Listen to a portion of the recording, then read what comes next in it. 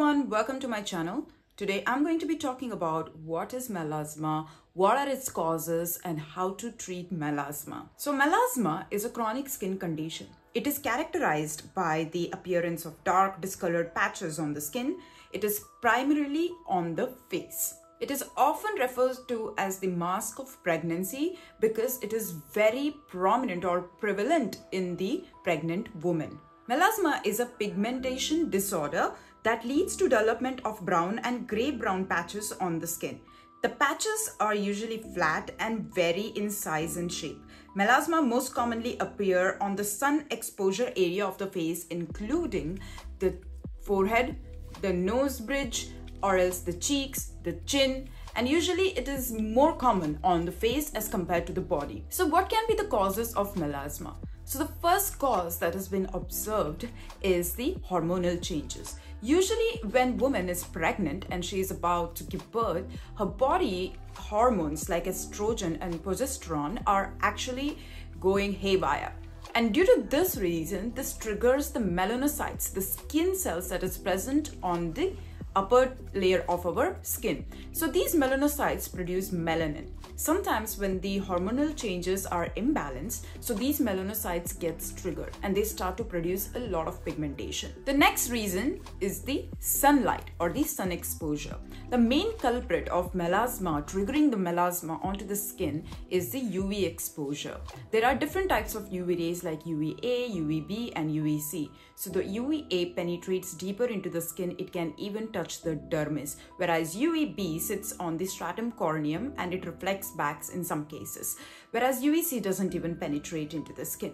So the UVA is the culprit that triggers the melanocytes and to have a proper protection against the sun is a must. There are so many cases where the woman getting pregnant and walking in the sun without any protection can lead to development of the melasma. Then there is the genetics that come into the play. Now genetics is like something that you cannot get rid of and in 50% of the studies in the research they have shown that the woman whole family history had the melasma like all the women in their family. So the woman in the present also has melasma like her mother had melasma in the past and her, her mother's mother like her grandmother had melasma and her great grandmother had melasma. So it's the genes that keeps carrying on and also is progressed to the future generation. So genetics also is a main cause of the melasma and 50% of population show this that the genetics has played a role and the melasma has appeared onto the skin this also depends, the next fourth cause is about the skin types. Usually the darker skin tones like the Latin American or else the Afro-American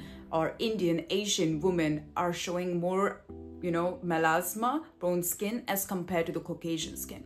It is just because the darker skin tones have high number of melanocytes and they produce larger amount of melanin that gives a deeper complexion to the skin.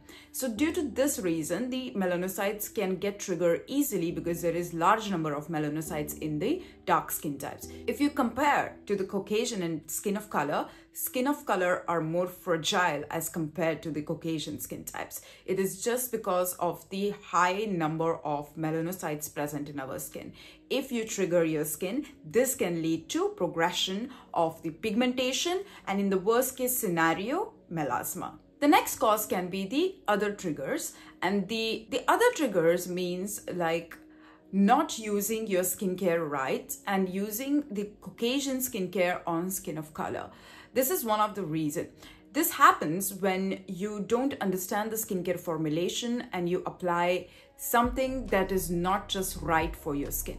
Especially if you're pregnant, you need to be very careful about what you are applying to the skin and none of the ingredients should trigger your melanocytes, especially if you're deeper skin tone. There are some, you know, drugs prescribed by doctors, antibiotics, sometimes they also cause sensitivity to the sun exposure and can lead to progression of melasma. As coming back to the before point that is about not using the proper skincare ingredients, this can be very alarming as the skin of color using wrong ingredients onto their skin and then progression of the pigmentation is very visible. The main culprit in skin of color is higher concentration of glycolic acid, higher concentration of AHAs like lactic acid, glycolic acid, but mandelic acid which falls into the AHA category is much better as compared to the lactic or glycolic acids. So lactic glycolic acids are quite powerful and their molecular size are bit smaller as compared to mandelic acid. They trigger the melanocytes. The diagnosis of melasma is very uh, easy because doctors now have like progressed science so there are a lot of research so the first thing that they do is like visually examine your skin and the second thing is the woods lamp they try to see the depth of your pigmentation and need to know what treatments can be excellent for your uh, curing of melasma onto the skin. Now to the next part of the video that is treatment of melasma. The first comes the sun protection. As I mentioned that sun can be the major reason of causing melasma onto the skin. So it is very necessary to use if you're pregnant mineral sunscreen which has UVA and UVB protection and it should be SPF 50 and 4 pluses. It should be like a proper protection especially if you are deeper skin tones you live near the warmer areas and this can be the reason because the UV rays protection if you don't do it properly this leads to melasma or pigmentation. So UVA radiation is the major culprit as compared to UVB. UVA penetrates deep. And even you need to have sun protection when you're sitting inside the house. There are some studies which say that even the UVA can penetrate from the windows and reach to your skin and penetrate deeper. So you need to even have sun protection in the house with large windows, which has constant sun exposure and not taking proper care against sun can trigger the melanocytes and it has been observed in a lot of studies that melanocytes get triggered easily. The main culprit is the sun and protection against UV radiation is a must. Then there are different topical treatments. Now, topical treatments are the creams, the serums, and different concentrations of serums or ingredients that can help to bring back that healthy skin. So the first treatment is the hydroquinone, then there is kojic acid, azelaic acid, and even there is tranexamic acid. Now tranexamic acid is quite widely studied and it has been shown to have much better results.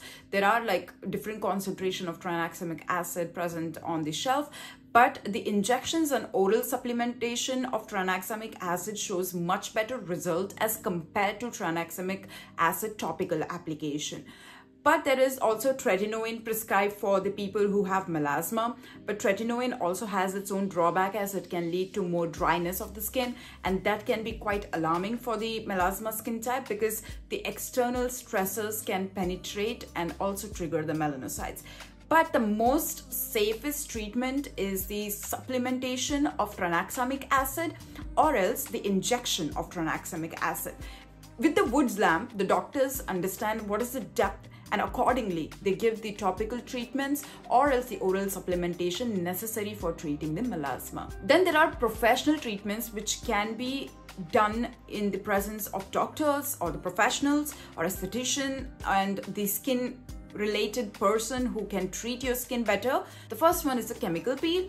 In chemical peel, a lot of different types of peels are used according to the skin tones and different concentrations of the chemicals and it helps to peel the top layer of the skin, the dead skin, the unnecessary skin that has more, you know, pigmentation. So this kind of lightens the pigmentation as new skin cells are coming to the top layer.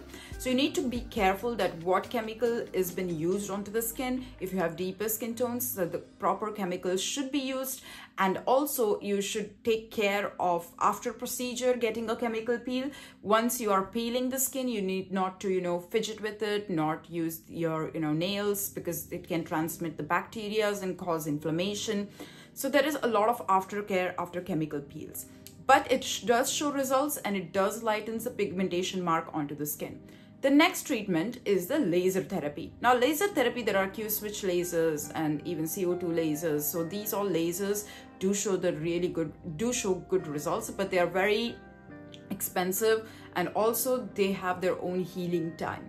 Usually once you get a laser therapy, it takes one month to heal your skin because it works according to the skin cycle that is 28 days of shedding and bringing new skin cells. So if you get a laser therapy that is CO2 laser, it is quite powerful and it, you know, make punches into the skin deeper depths and it brings you know collagen and fibroblast it gets new skin cells but the healing time is so painful. Your face gets swollen. And even in the processes that you can see that your face is red and it can even you know get triggered. It's very inflamed.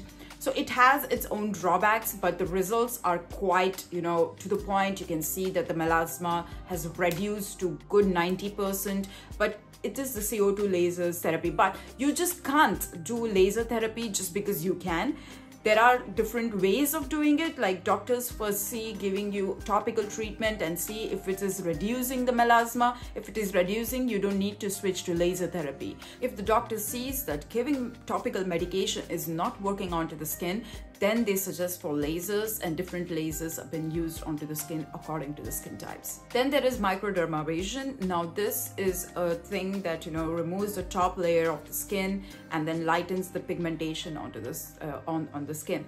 This, these all are the different therapies that are available in the market, but you need to understand that you need to always keep checking up with your dermatologist if you have you know melasma and you see that your pigmentation is going deeper and it's getting darker, it's getting wider, you need to keep checking your doctor. You need to have these procedures done and you need to be very punctual to your doctors. Then you need to work on the lifestyle modifications. You need not to apply any triggering ingredients, skincare ingredients, or any new skincare that you saw on the market and you wanted to try and you come and try it on the melasma skin. That is just crazy because it's gonna trigger your melanocytes. So you need to be very careful with what you're selecting to apply onto your skin. You need not to have any active ingredients into it because you never know how sensitive your melanocytes are and how can it get triggered. So it's very essential to understand any formulation before applying it to the skin and you need to understand like what concentration works for the best. So you need to do a patch test before you even apply it onto the skin. This is essential. If you don't do patch test and directly apply, you're gonna face a lot of pigmentation. In conclusion, I could say that melasma is such a skin condition which cannot be, you know, transmitted to other person. It doesn't, it's not contagious. It doesn't spread from one person to another. But it has like you know mental drawbacks. Like if you have melasma your self-esteem and your confidence just drops and you want to get rid of it. And you have so many different medications so many you know laser therapies and treatments that are out there in the market that can help you get back that healthy skin but you need to always protect your skin from UV light and it is a must because if you don't protect your skin from UV light that is going to cause a big problem as UV light is the main culprit of melasma in the pregnant woman. And you need to also make sure that you keep checking your dermatologist. You need to have a proper sessions and you need not to skip any sessions because it takes some time to you know heal like melasma I don't know how to say it, but there is no cure for melasma. There is no permanent cure for melasma. It is the gene that sometimes get triggered in some women and sometimes improper care of your skin can also lead to melasma. It is something that you need to be patient with your doctors. You need to always constantly visit them get to know what works the best for your skin and not you know going and trying out all the skincares out there just because it works you need to understand that there should be a professional a proper doctor with good ratings you need to go to such doctors rather than wasting your time in cheaper treatments, alternatives with unprofessionals. So this is like something that you need to keep in mind and we need to be very cautious because the skin is the biggest organ on our body. If we don't take care of it, we might lose our confidence by getting a lot of pigmentation, especially if you're skin of color. So I hope I covered all the points. If you have any questions, you can write down in the comment section below or else reach out to me on my Instagram handle. Thank you very much for watching again, guys. Make sure that you subscribe to my channel and also share this video with your friends so that they can understand what is melasma, what are its causes and how to treat it. So thank you very much for watching again. I will see you soon in another video. Take care and bye.